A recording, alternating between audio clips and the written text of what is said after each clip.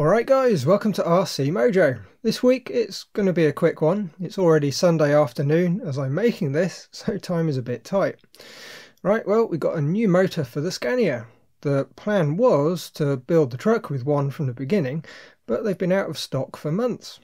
But they came back in stock a few days ago, so we have a Hobbywing Quicrun Fusion SE, a brushless crawler motor and ESC combo that's particularly suited for low speed torque. Now you may be thinking, why would you use a brushless system on a Tamiya lorry? A brushed ESC and motor work just fine, and you'd be right. The trick is a smooth running brushed ESC like the WP1080 will set you back 50 quid, plus an 80 turn motor will be another 15 quid or so. And well, the Fusion SE will be even smoother and torquier, and it's only an extra 15 or 20 quid, a bit of a bargain. Also, because the ESC is built into the motor, it makes a load of chassis space available for other bits and bobs.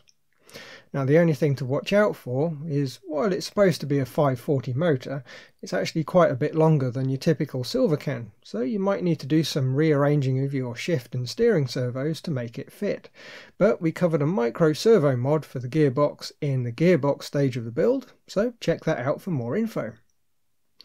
Also with the motor we get a zip tie, a short servo extension to make the programming with a programmer a little bit easier, and the manual. The manual, or instruction sheet I suppose would be more accurate, is a typical Hobbywing. There's only really a couple of bits you need to follow, the throttle calibration and the setup table. The rest just covers typical RC stuff like plugging into your radio and battery. If you've built an RC before, there's really nothing new. Right, first job then is to rip out the current install. We need to disconnect the servo leads from the receiver, unplug the motor, and pry off the ESC, which is stuck on with Fastrax servo tape, so it's going to come off quite cleanly. The main reason that I always recommend it.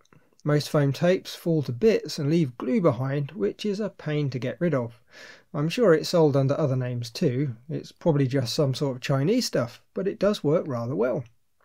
Next the battery extension needs to come out and annoyingly the battery connector is just slightly too big to go through the gap so we need to remove the tanks from the side too. Next we undo the six screws that attach the plate to the chassis and remove it. Remove the four gearbox mount screws and wiggle it free. Then we remove the five gear case screws and separate the halves. Remove the two motor screws and lastly loosen the pinion grub screw and remove the pinion. Right, the new motor has several pairs of mounting holes, so we can choose the angle it sits on the gearbox. I'm hoping we can mount it so the wires come up just above the lower deck of the electronics tray. To mount, we just reuse the two screws and the washer from the kit, along with the fibre spacer. Add the pinion, and then we set the gear mesh. And it's worth noting that with this motor we will have quite a bit more torque and punch than the brush setup, so we need to take extra care to get the mesh just right, and set the pinion on the shaft so the teeth line up nicely. It's well worth getting it just so now, rather than having to replace gears when something goes pop. Now because we've got the micro shift servo attached to the gearbox rather than the chassis, we can power up the system with the gearbox open and see how it runs. We just need to plug the shift servo into the receiver, turn on the transmitter, which is already set up with zero trim and even endpoints on the throttle, and then we plug in the battery, a 2S LiPo, and hit the power button.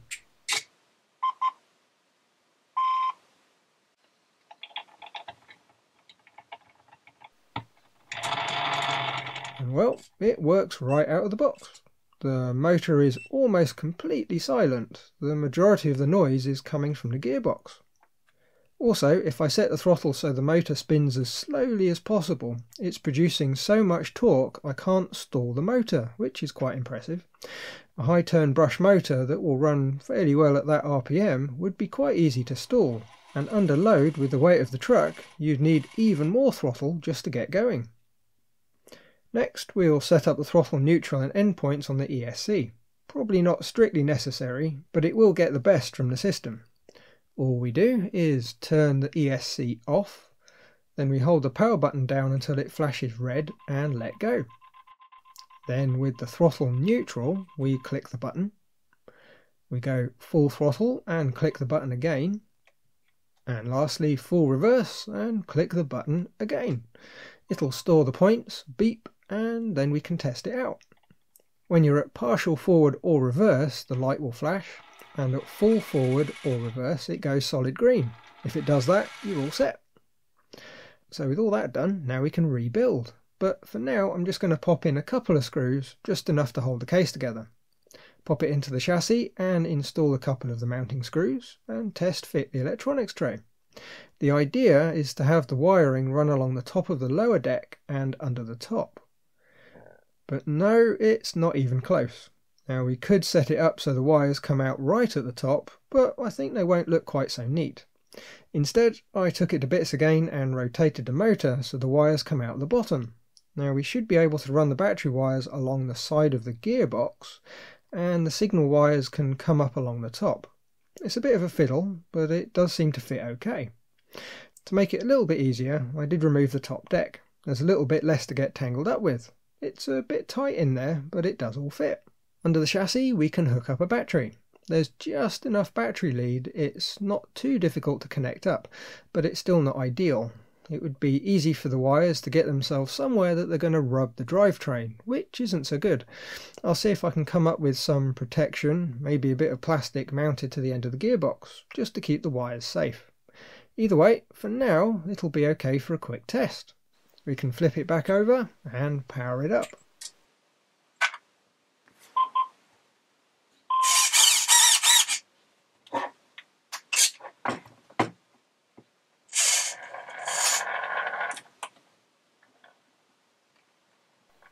It's more or less silent and the low speed control is quite unreal. You can really creep without lurching, quite impressive. The real trick though is if we drive into my hand to stop the truck, the motor just carries on spinning at the same RPM. Essentially, it's self-adjusting to maintain the RPM no matter the load. So the throttle is now a speed control rather than a torque control, which should be ideal for smooth running around the layout.